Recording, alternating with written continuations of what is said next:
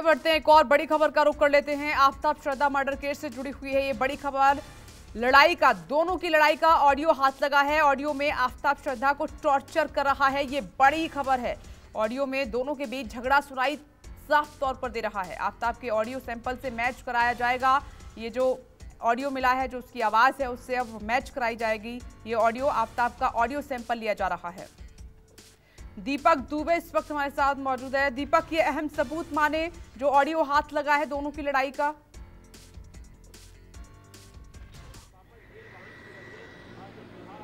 जी, Delhi police को एक बड़ी बड़ा सबूत मिला है इस पूरे मामले में, क्योंकि दिल्ली पुलिस के पास बहुत सारा सबूत मौजूद नहीं था। लेकिन जो ऑडियो क्लिप मिला है, उसमें आफ्ताब, श्रद्धा के साथ गाली गलौज कर रहा है, भद्दी भद्दियाँ गाली दे रहा है और इसके साथ साथ उसे प्रताड़ित करने की कोशिश कर रहा है। जिस तरह की हमारी दिल्ली पुलिस के सूत्र बता रहे हैं कि उस, वो इस ऑडियो क्लिप में टॉर्चर करता हुआ दिखाई, सुनाई पड़ रहा है। यही वजह है कि दिल्ली पुलिस इस पूरे मामले की कड़ियों को जोड़ने के लिए वॉइस सैंपल रिकॉर्ड कराना चाहती थी। यही वजह है कि दिल्ली के सीजीओ कॉम्प्लेक्स स्थित जो सीबीआई का सीएफएसएल है, वहाँ पर आफ्ताब को लाया गया है। यहाँ पर आफ्ताब का वॉइस वॉइस सैंपल रिकॉर्ड किया जा रहा है तकरीबन एक घंटे की ये पूरी प्रक्रिया है, जहाँ पर आफ्ताब का वॉइस सैंपल रिकॉर्ड किया जाएगा, जिससे कि इन कड़ियों को जोड़ने में मदद मिल सके। क्योंकि आफ्ताब शुरुआती तफ्तीश जिस तरह से हो रही थी, वो पुलिस को गुमराह करने की कोशिश कर रहा था। लेकिन जब उसका नार्को हुआ, उसके बाद पॉलीग्राफी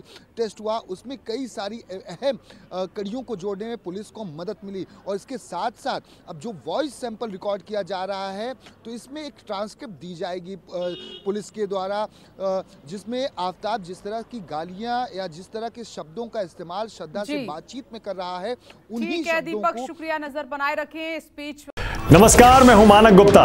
अगर आपको हमारा ये वीडियो पसंद आया हो तो इसे लाइक और शेयर ज़रूर करें।